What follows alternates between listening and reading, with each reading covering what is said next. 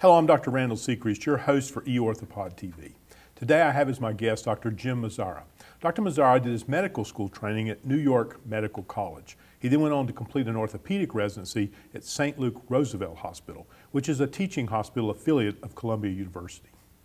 Good morning, Dr. Mazzara. Good morning. Thanks for joining us. What, what I thought we would discuss today is, is a relatively new procedure that has been designed to treat a very uh, difficult shoulder problem in the past, or a group of shoulder problems. Uh, this is called reverse total shoulder replacement. So we're actually Correct. reversing the normal uh, total shoulder replacement.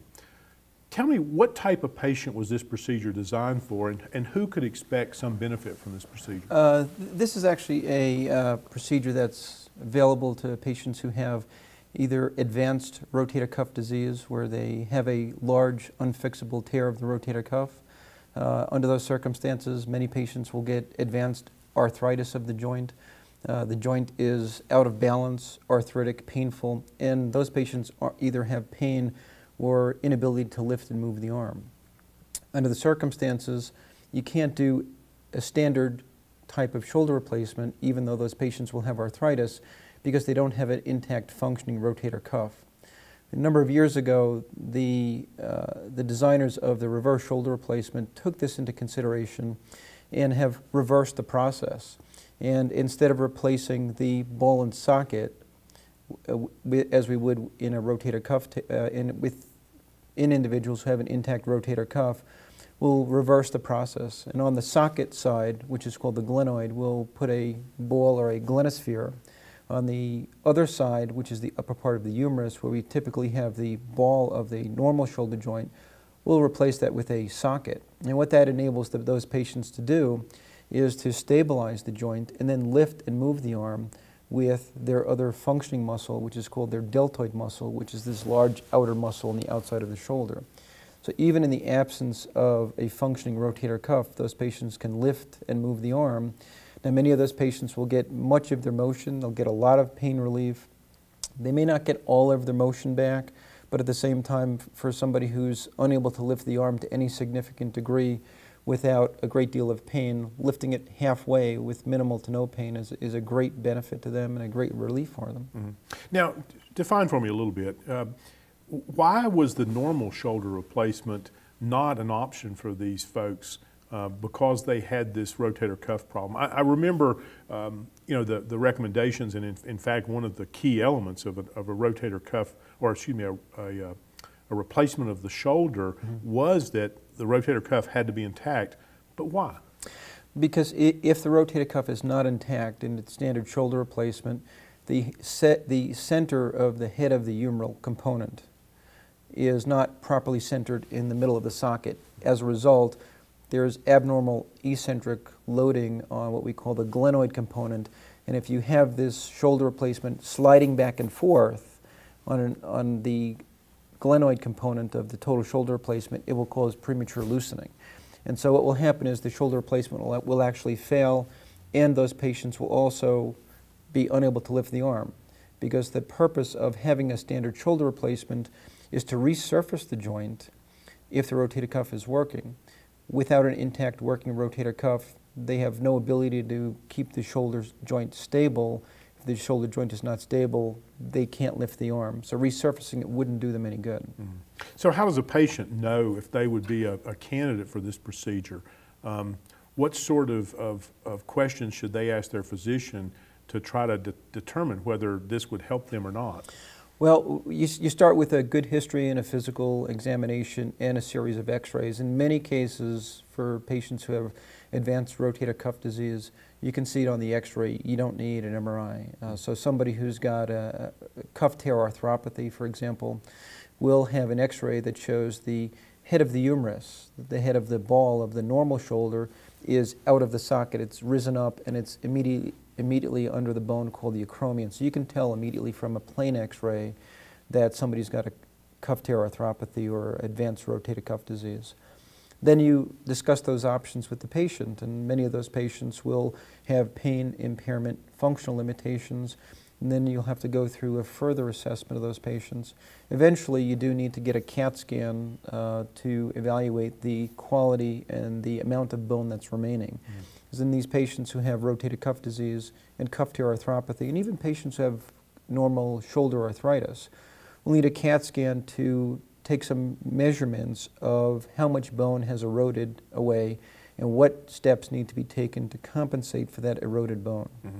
Now, let's, let's look at this patient population because a lot of these folks that come to the point to where they have cuff tear arthropathy have had multiple surgeries. I mean, they've already had surgeries, True. attempts to try to repair the rotator cuff, maybe years before, maybe several. They're still candidates for this procedure. They are, yes. Uh, and, and those are people who have clearly tried and failed less dramatic options, less invasive procedure where you try to preserve and repair their tendon. The tendon is either unfixable or re-tears. They get to the point in time where they then have no rotator cuff tendon to work with. They get that pseudo-paralytic shoulder. They, they have pain. They have a shoulder that is out of balance, that will not lift and move. They have profound weakness. And then those patients can actually do very well with the reverse shoulder.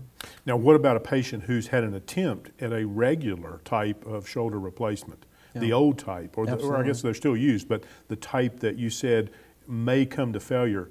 Can that be converted to one of these newer um, prostheses? Uh, in, in fact, it can. Uh, the, the way you would do that is you would have to, again, evaluate the amount of bone, but you don't need a rotator cuff to replace the shoulder.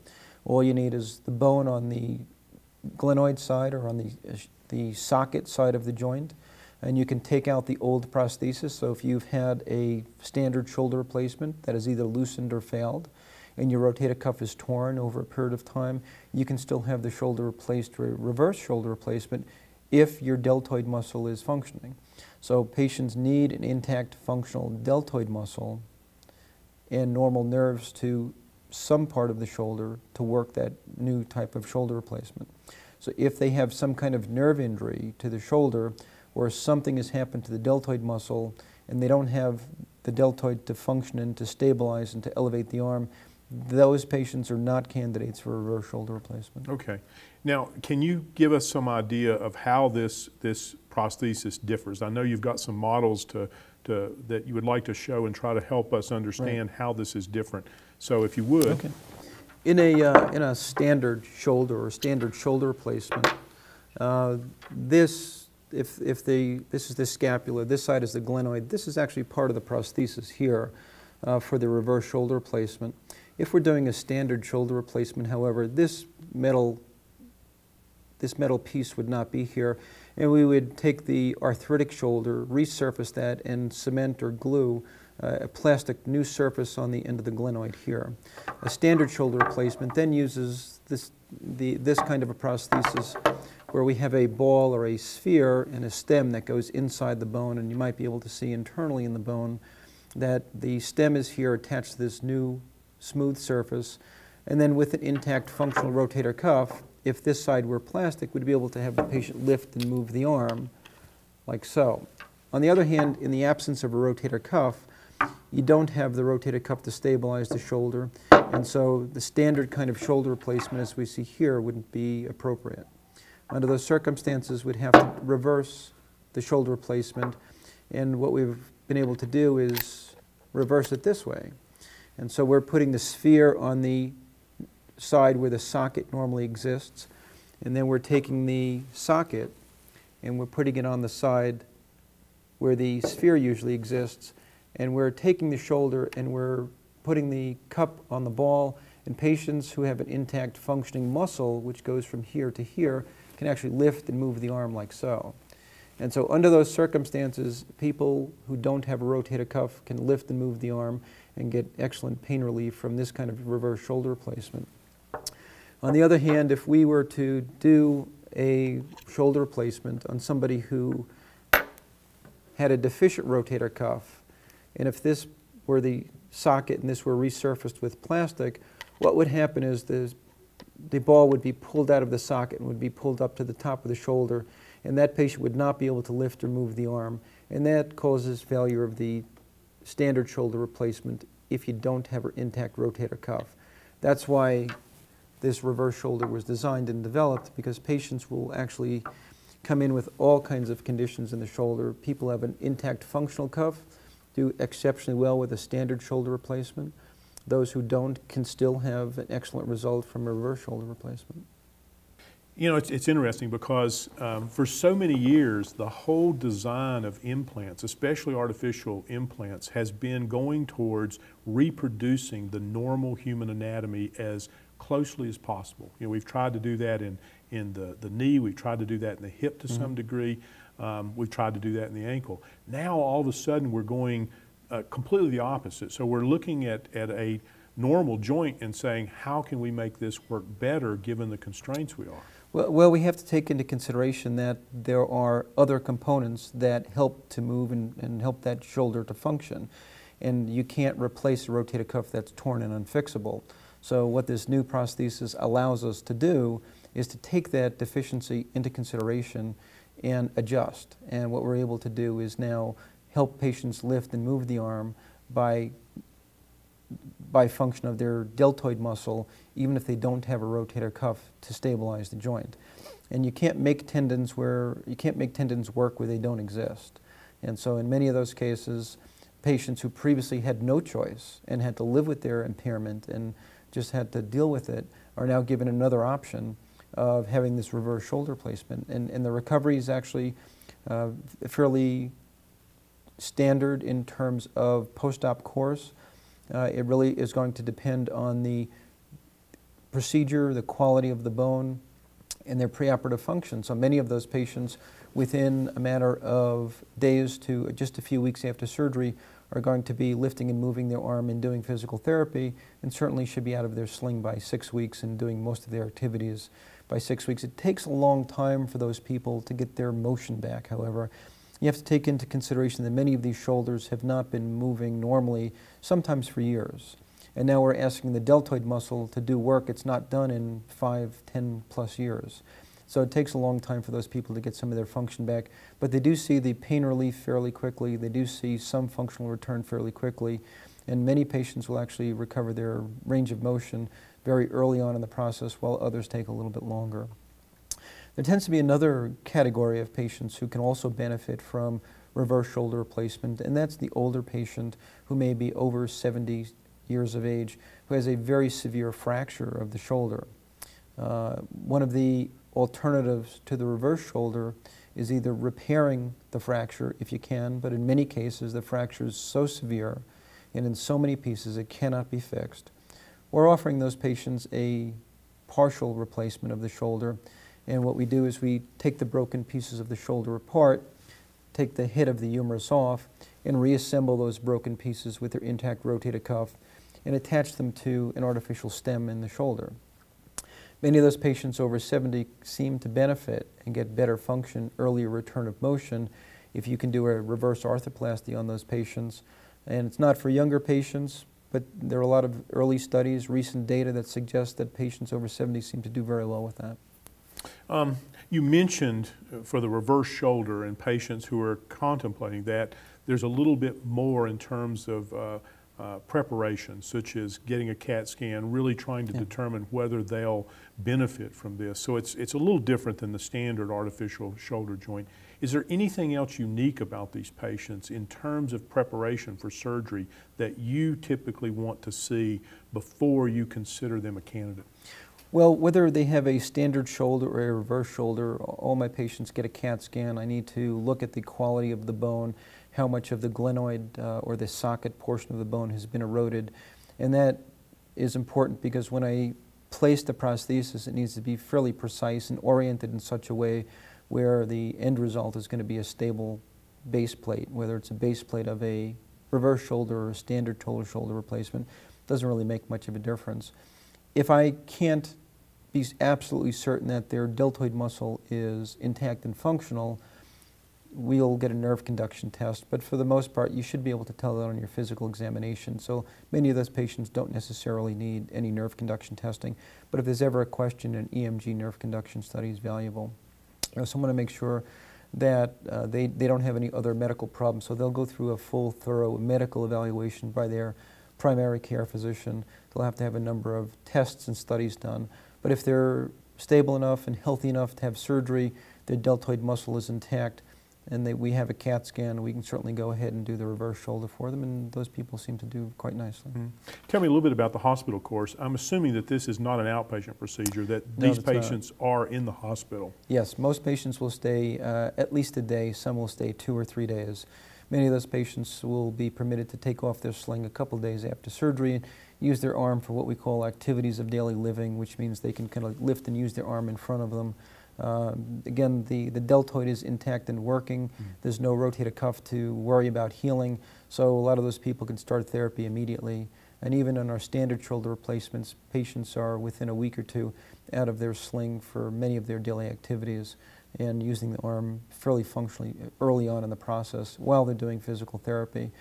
Um, in some individuals uh, who have a completely deficient back part of the rotator cuff, they may be candidates for a reverse shoulder and a tendon transfer. Most of the patients that I see don't really require that tendon transfer. They seem to do very well without it. Now, long term, what should what has your experience been in terms of of how durable these types of procedures are with the reverse uh, artificial shoulder? Um, is this something that a patient should expect to last 10 years, 15 years, five years? What, what's your experience? Well, in terms of shoulder replacements, it, it can actually last many years. It's not a weight-bearing joint. Uh, it's not like a hip or a knee where you're stressing it on a daily basis. Uh, if uh, the patient doesn't have any other problems like fractures or infections, uh, and there's no other issues with the nerves to the shoulder, those prostheses can last many years, 10 plus, 10 plus years. Uh, some, we don't have a lot of long-term data on the reverse shoulder replacement, although the data would suggest 10, 15 years is not unrealistic and even longer uh, for a standard shoulder replacement. If there's no loosening or problems with the glenoid or the socket portion of the replacement, those can last 15 plus years. Again, it's going to depend on what you're doing with it. And if you're out there banging up your shoulder continuously, you may cause it to wear out a little bit earlier. You, can certainly loosen the glenoid, you can have a fracture, you can have other problems. So it's going to depend on what you do with it, uh, just like any other kind of shoulder replacement, any other joint replacement. We probably should define uh, the, the term banging up your shoulder for patients and, and define for them how durable this shoulder is.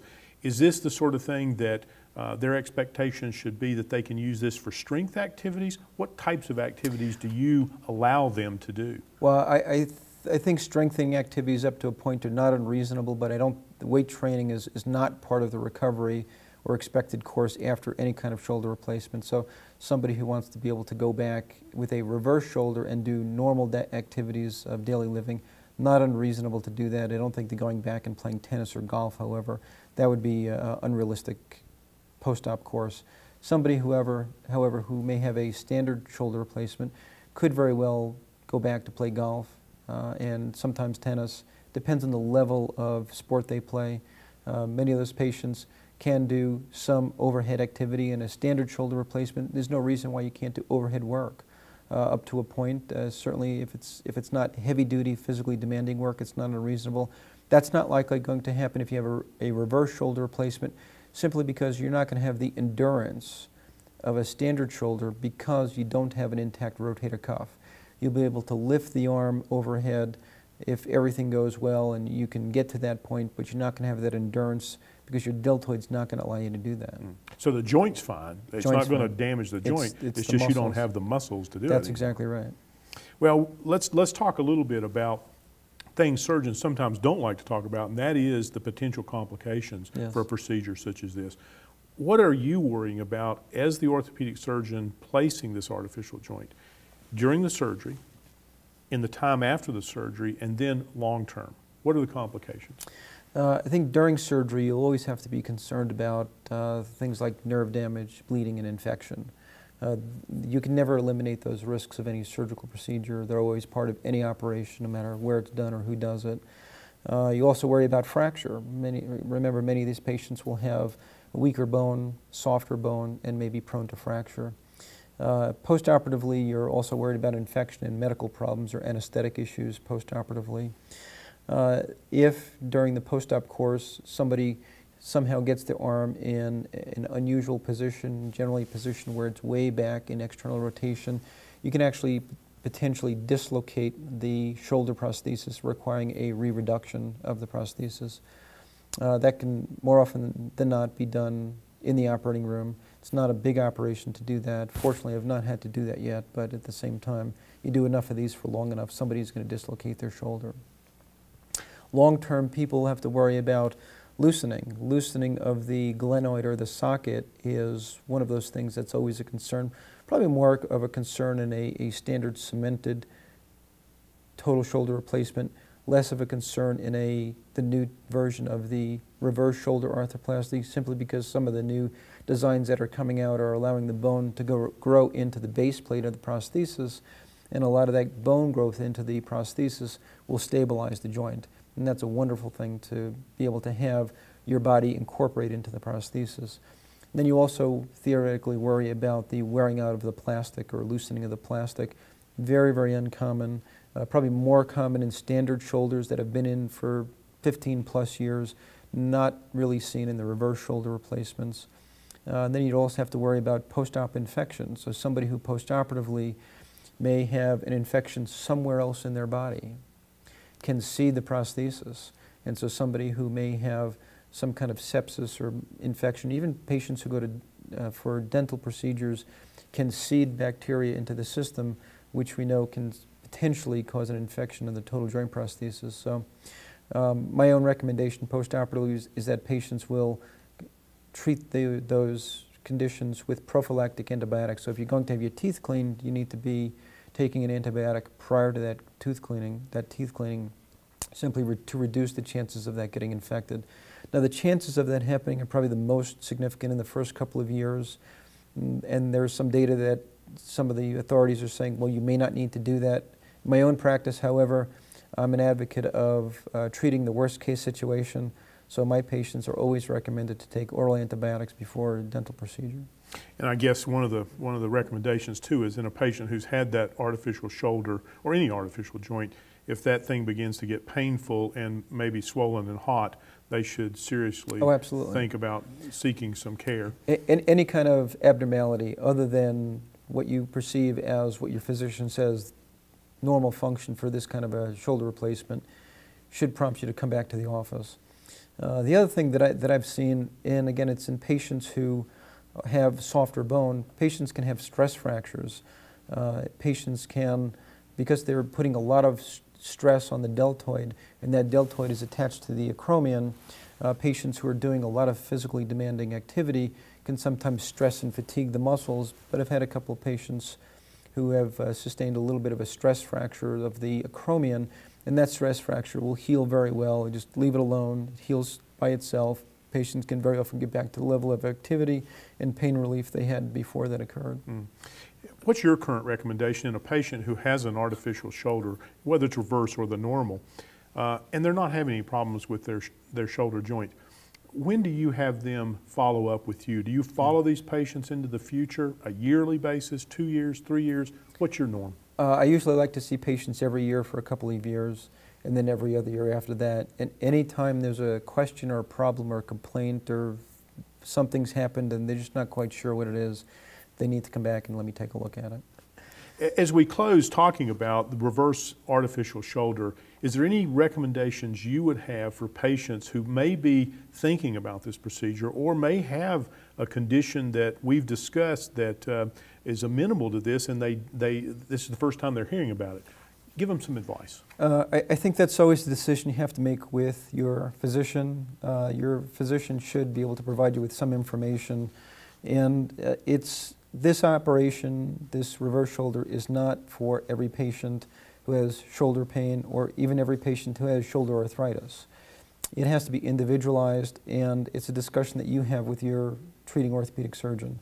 Uh, in terms of information out there, we provide some of that in the office, and there's certainly some available on the internet, and you just have to be careful about making sure that you discuss with your physician what you think is the most pro what they think and you think together is the most appropriate uh, treatment for you and your condition. Mm. Now, is this a widely used procedure at this point, or is this is this a procedure that's only done experimentally, or it's only done in certain centers? Uh, no, it's it's not experimental. It's actually been around for several years in the United States, but for many years in Europe prior to that. And not all orthopedic surgeons do shoulder replacements, and even fewer orthopedic surgeons do reverse shoulder replacements. Uh, It is something that I do within my practice. I have quite a bit of experience with it. And I think under the right circumstances, it can be tremendously helpful for patients to do that. But it, it is done by people who have a lot of experience with it, but not by all orthopedic surgeons. Okay, well, this is excellent information for Thank patients. I I sure appreciate you coming by and discussing this, and uh, uh, we'll talk again. Thank you.